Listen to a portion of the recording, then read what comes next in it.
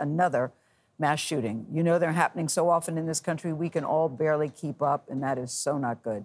Yesterday, we told you six dead in Texas. Today, it's three people gunned down at the University of Nevada in Las Vegas.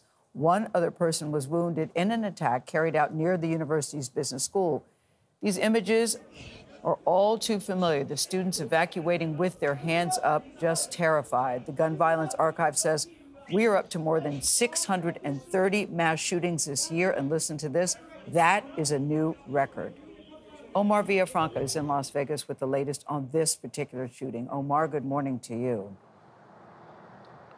Good morning. Our CBS affiliate here in Las Vegas has identified the shooter as Tony Polito, a man in his 60s, but we do not know the names of the three victims. Now, UNLV's campus, with its 30,000 students, faculty, and staff, will remain closed for the rest of the week as the community copes with another mass shooting. Just before noon on Wednesday, the sounds of gunshots on the campus of the University of Nevada, Las Vegas triggered an all too familiar active shooter response. We have more patients inside with an active shooter. Copy, so we're reporting an actual active shooter at this point, correct? That's affirmative. Cops are going in right now. Sources tell CBS News the shooter was a former college professor in his 60s. Police say he opened fire on the fourth floor of the business school building. Went to multiple floors, and the suspect was neutralized on the outside uh, by the UNLV Police Department. I was crying. First year student Riley Adams took this video as she and her fellow classmates were escorted out of their barricaded classroom, where she walked past a door apparently shattered by gunfire.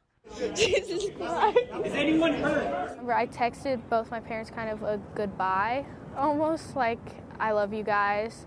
Um, if anything happens to me, like, just know I'll, I'll always love you. While authorities are being praised for their swift response, the community is stunned. It's time for us, as the adults, enough. It is enough. Hours later, students were still trying to process what happened. It's just crazy knowing that like you go from a college classroom to all of a sudden barricading yourself in it and not learning and trying to fend for your life.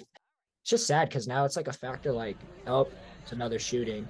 Like that's pretty much how people look at it.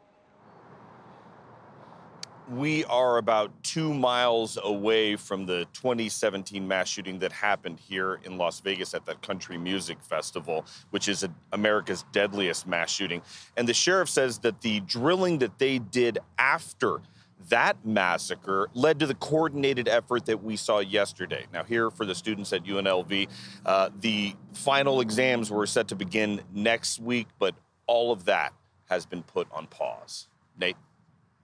Omar, thank you so much. I just hope we all resist the urge to become callous. This is not normal, even though it's routine here in America.